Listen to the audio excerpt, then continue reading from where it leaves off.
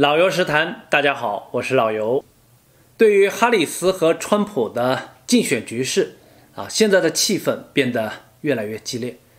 首先，在拜登宣布退选之后啊，三个多星期来，哈里斯的人气确实是在逐渐上升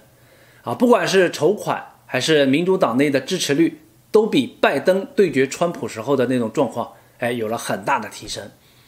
有人认为，哈里斯现在正在重现当年奥巴马在零八年参选时的那种热潮。但是啊，对于这个现象，一些政治观察家指出，并且提醒。说哈里斯的这阵热潮可能只是一个蜜月期，等这股热潮过去之后，民众的情绪回归平静后，哈里斯还是需要面对来自川普的实际挑战。啊，我觉得这个提醒啊是比较实在的啊，就像村里来了个新人，村长家啊来了个小媳妇儿，又年轻又好看，大家呢都比较好奇，对她充满了热情。但是啊，当这股热情过去之后，村民们更关心的焦点，可能就会回到实质性的、更具现实意义的问题上来。哎，这个小娘子到底她的持家能力怎么样？啊，光长得好看啊，如果不能持家，你看村民们会不会立马对她指指点点，甚至出现批评的声音？哎，现在哈里斯的情况，哎，可能是正处于啊村民对小媳妇的热情逐渐可能要散去的阶段。啊，过去三个星期，大家可能都还沉浸在啊老同志换小媳妇儿的这个兴奋之中，但是啊，一旦热情褪去之后，小娘子到底有没有真本事？来，请你亮出来看一看。大家啊，应该都在观望。现在啊，民主党他们自己也认为，虽然当前的这股哈里斯热情是奥巴马参选以来从未见过的选民热情，但预计哈里斯的选举结果。最终应该不会像当年奥巴马那样能够获得一边倒的胜利。说民主党预计这场选战将会非常激烈，最终决定胜负的关键终将落在七个摇摆州。好，那么对于这个摇摆州的目前的形势啊，今天我看到一篇最新的库克政治报告，对当前的川哈对决进行了比较详细的分析。来，我们来看一下啊。说，目前哈里斯在七个摇摆州中有六个州暂时领先或与川普持平，总体上的对决趋势是四十八比四十七，暂时以微弱优势领先于川普。哎，小媳妇儿的优势啊，暂时压倒了老村长，暂时领先啊，微弱领先百分之一。目前啊，川普在七个摇摆州中，只有在内华达州保持微弱领先。哈里斯在内华达州的支持率正在与川普逐渐缩小。说目前哈里斯之所以成功的缩小差距，主要是得益于巩固了民主党的基本盘，以及增加了独立选民的支持度。好，那么下面呢，我们来对比一下啊，这两个人目前在七个摇摆州的民调结果。啊，在这儿呢，我说明一下啊，这个民调啊，应该来说是当前的各大报告中相对可参考的一个民调项目。啊，它是由无党派机构库克政治报告联合民主党民调公司 BSG 和共和党民调公司 GS 战略集团联手合作的一个摇摆州分析项目。啊，根据啊这个最新的库克政治报告啊，这份报告显示，目前在七个摇摆州，只有内华达州川普位于领先位置，是百分之四十七对百分之四十二，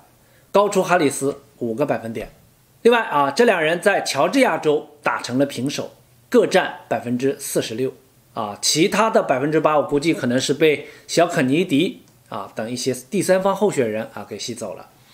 啊。除了这两个州之外，其他的五个州都是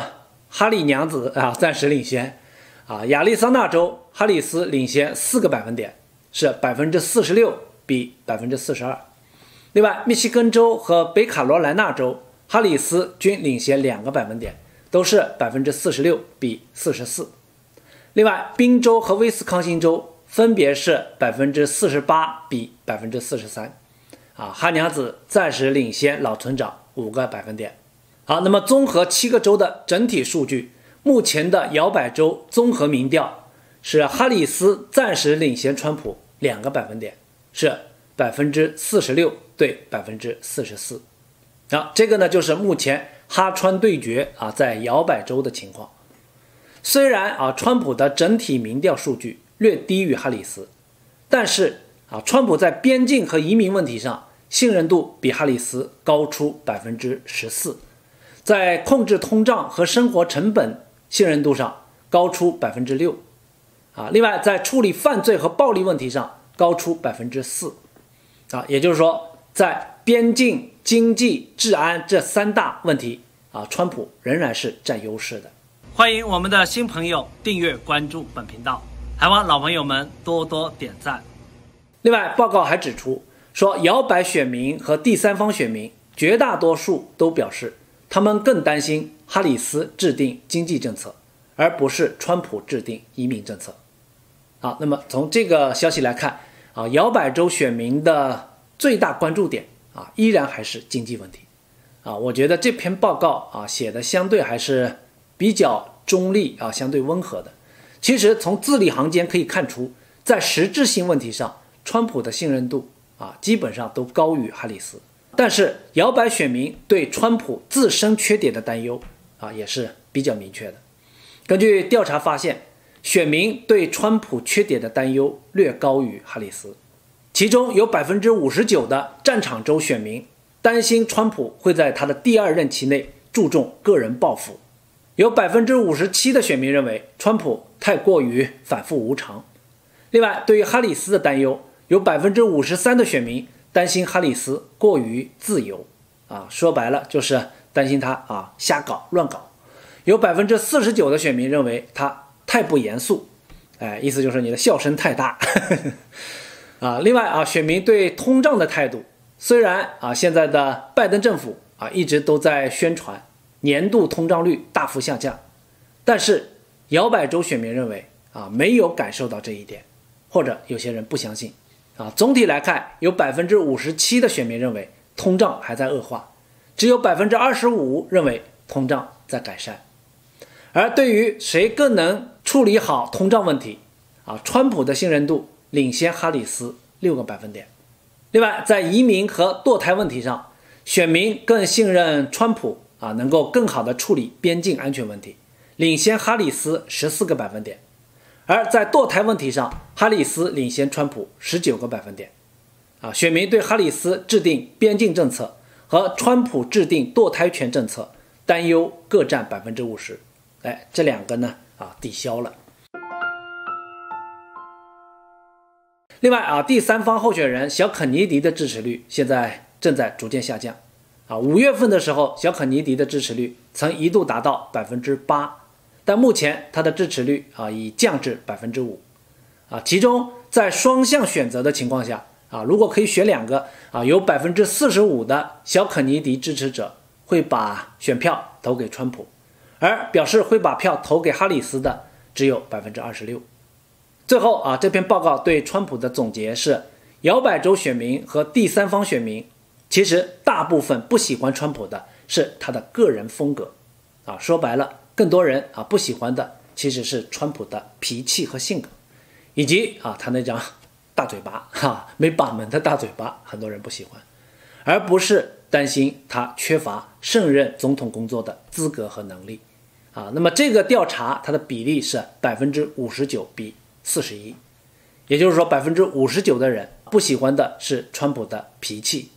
百分之四十一的人担心他的能力问题，啊，也就是说，大部分人对川普的总统执政能力啊还是认可的，只是不喜欢这个人。最后啊，文章引用 GS 战略集团总裁格雷格的话说：“尽管川普本月表现不佳，但如果他将哈里斯定义为过于自由、缺乏经验，以及在通胀、生活成本和移民问题上。”将延续拜登立场，他仍可赢得这次选举，但他若想取得成功，就必须遵守信息纪律，并放弃夸夸其谈的毛病。哎，也就是说啊，这两个人啊，如果想赢得摇摆选民的选票，哈里斯需要以个性为中心展开选举，而川普则需要以政策为中心展开选举。啊，换而言之，就是川普的赢面。主要是在他的政策上，而哈里斯可能啊只能以貌取胜，啊除了貌啊也没啥了。其实啊最后啊决定大选胜负的大家都知道啊关键因素啊其实只掌握在一小部分人手上，大约百分之三到百分之五的选民，啊也就是说这百分之三到百分之五的摇摆选民最后决定谁能够入主白宫。其实啊我觉得。昨天啊，原共和党总统候选人啊，就是前驻联合国大使海利对川普提出的一个建议，我觉得还是非常中肯的，川普应该听一听。啊，海利在福克斯新闻的特别报道中表示，说美国人需要并希望川普赢得大选，但他建议川普不要再嘚啵嘚的唠叨那些没用的啊，不要老是聚焦在哈里斯集会的人数多少的问题上。啊，这些都是鸡毛蒜皮的事情，啊，而应该攻击哈里斯的竞选状况，关注他的政策，以及攻击他的智力。你看，啊，女人的直觉就是比男人更直接，啊，一把抓住了哈里斯的要害。啊，海莉说了啊，攻击他的智力，明白吧，老陈同志？海莉在节目中明确指出说，你不可能靠这些啊，意思就是琐碎的事情取胜。美国人民很聪明。我们要像对待聪明人一样对待他们。另外啊，他在提到哈里斯二十多天不接受采访的问题上，海利也说：“我们知道他不会接受采访，他们会尽可能的坚持下去，这是他们的权利，他们可以这样做。但这并不意味着我们不能谈论他的信仰。我们应该走出去，啊，意思就是别老纠缠在这个问题上了，啊，到底受不受访啊，这些都不是要害。”啊要打的就是要打他的要害，跟他谈政策，跟他比智商。哎，你看，这是海利对川普提出的建议啊。当然原话不是这么讲的啊，我是把它通俗的给他翻译过来了啊。啊，我觉得这个是很有道理的啊。川普成也这张嘴巴，败也是这张嘴巴啊。归根结底啊，就是这张嘴太碎。啊，经常呢是碎碎念啊，翻来覆去念到一些琐事，而且啊念叨多了啊，嘴巴没把门的啊，就很多不该说的话就说了。所以库克政治报告啊也向川普提出了这个问题啊，请管好你自己的嘴，意思就是啊要遵守信息规则，人家说啊别乱讲啊悠着点啊，所以啊希望川普在这个问题上啊能够改一改，收一收。啊，梅兰妮亚啊，晚上呢多管管啊，你们家老公啊，晚上多吹吹枕边风啊，别老乱说话，让他。下面啊，我们再来关注一则与川普的封口费案有关的消息。今天美联社的最新消息说，承办川普封口费案的纽约法官莫钦啊，第三度驳回川普要求他回避此案的动议。此前，川普阵营一再提出，因莫钦的女儿。从事与民主党相关的政治顾问工作，与此案构成利益冲突，所以要求莫钦回避审理此案。啊，之前川普曾在去年的八月和今年四月两次提出这项提议，这一次啊是第三次提出，但是今天根据纽约的相关裁决，再次驳回川普律师要求莫钦回避审理封口费案的动议。所以啊，现在莫钦预定。将会在九月十八号对川普的这起案件作出判刑，啊，就是川普不是三十四项重罪嘛，啊，最后怎么判啊？判多少年？现在还没判，啊，最后我们来看一看这位法官啊，最后会判啊什么刑期？根据报道说，莫钦在八月十三号的裁决书中写道，被告并未提供新的证据供本院考虑，律师仅重申已被本院及上级法院驳回的证据，并指川普阵营的论点。充满不精确且无事实依据的主张，啊，那么川普律师所指的利益冲突啊，到底是什么样的冲突？啊，据报道指出，说莫钦的女儿，她工作的政治顾问公司是一家为民主党竞选活动提供服务的公司，其中包括为现任副总统哈里斯在2020年争取民主党总统提名做过服务。啊，当然啊，当时的哈里斯没有成功嘛，啊，但是川普的律师认为莫钦女儿的背景对他审理此案已构成利益冲突，所以要求他回避。尤其是现在哈里斯正在和川普竞选总统选举，所以川普律师上个月再次向法官写信，并提出辩方的担忧变得更加具体。但负责此案的检察官认为，这些指控是无理且轻率的重新审理企图。那人家说了啊，不冲突啊就不冲突啊，女儿是女儿，爸爸是爸爸啊，你没有证据能够证明啊，爸爸和女儿私下讨论了川普的案情啊，女儿对爸爸产生了影响，哎，你能证明吗？没有证据吧？这个确实没有证据，证明不了啊，没有新的证据，所以呢，就只能按照上次的裁决继续驳回。啊，对此，莫钦法官表示说，他有信心能够公平公正的审理此案。哎，你看，啊，人家有信心啊，你有什么话说？哎呀，不回避也好啊，这对川普来说也未必是坏事，没准啊，这起案件啊判刑之后，可能啊还会再度点燃部分选民对民主党啊利用司法打压川普的这个怒火。其实啊，这个法官现在也是骑虎难下。啊，案件都已经进行到了这个地步，啊，你要是回避了，这个时候回避，哎，那你就更说不清楚了。但是呢，你不回避，啊，下个月又要对川普实施判刑，啊，肯定也会引起很大的骚动。哎，怪就怪当时啊没算好，当时还以为啊老船同志应该翻不了身，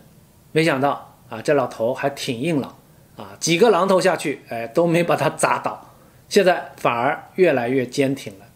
哎，这下。着实难办了，判重了啊，舆论压力太大；要是判轻了，左派又会骂。哎呀，早知道，当初我就不参与了。唧唧复唧唧，木兰当户织，不闻机杼声，惟闻女叹息。问女何所思？问女何所忆？女亦无所思，女亦无所忆。昨夜见君天，可汗大点笔。君书十二卷，卷卷有夜明。大业无大儿，木兰无长兄。愿为市鞍马，